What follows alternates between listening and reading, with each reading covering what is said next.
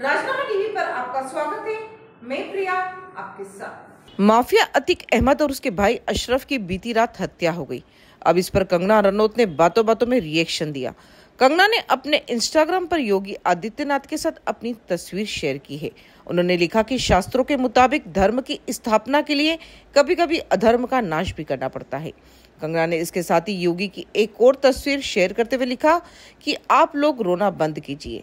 ज़ाहिर है कि अतिक के बेटे असद के एनकाउंटर के बाद भी कंगना ने योगी की तारीफ़ की थी। कंगना रनौत आए दिन देश की हालत और राजनीति मुद्दे पर बोलती नज़र आती है। उन्होंने माफिया ब्रदर्स की हत्या के बाद एक साथ तीन पोस्ट शेयर किए। पहले पोस्ट में उन्होंने लिखा, शास्त्र कहते हैं कि धर्म की स्थापना सिर्फ़ धर्म के पालन से नहीं होती। कभी कभी धर्म की स्थापना के लिए अधर्म का नाश करना पड़ता है। अयोध्या में तपस्वी राजाओं की एक परंपरा है, जिन्होंने भारत का उद्धार किया है।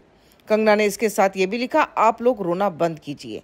ज़ाहिर है कि कंगना ने योगी के विरोधियों को बिना नाम लिए मज़ाक बनाया है। साथ बने रहिए राजनामा टीवी के साथ। धन्यवाद।